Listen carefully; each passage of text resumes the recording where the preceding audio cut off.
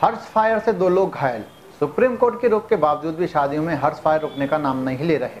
विगत रात पुरानी छावनी में एक शादी समारोह में बारात में एक बाराती के द्वारा हर्ष फायर गिर जाने से दो लोग घायल हो गए। वहीं घोड़े को भी गोली लगी है जिसके बाद बारात में अफरा तफरी मच गई। घायलों को जिला अस्पताल में भर्ती कराया गया है एवं पुलिस ने मामला दर्ज कर जाँच शुरू कर दी है।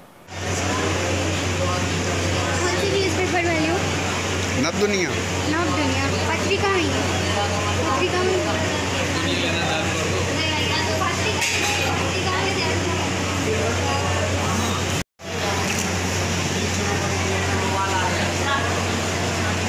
तोलिया है तोलिया तोलिया है तोलिया है तोलिया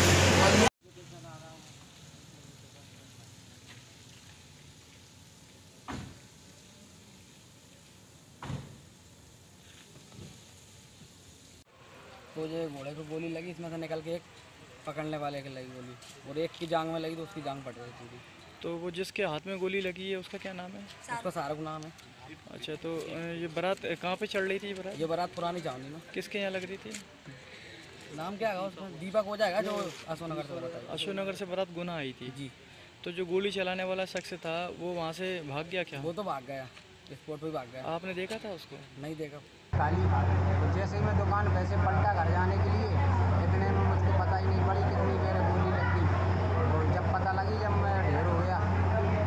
और पूरा खून की धार हो गई कम से कम आधे घंटे तक तो व्यक्ति यही सोचते रहे इसको उठाएँ क्या करें कोई उठाने के लिए तैयार नहीं हो रहा बड़ी मुश्किल से जैसे तैसे करके लेके आए। सहयोग में भर्ती करवा रहे थे वहाँ भी नहीं किया। सरकारी अस्पताल में लेके आए। गोली गोली के आर पार हो गई? गोली आर पार हो गई।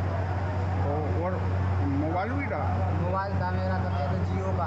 तो मोबाइल पूरा चकनाचूर हो गया। मोबाइल की खातिर मतलब थोड़ी जान मेरी। अभी की स्थिति में ज़्यादा घायल। ये क्यों चली गोली? किसने चलाई?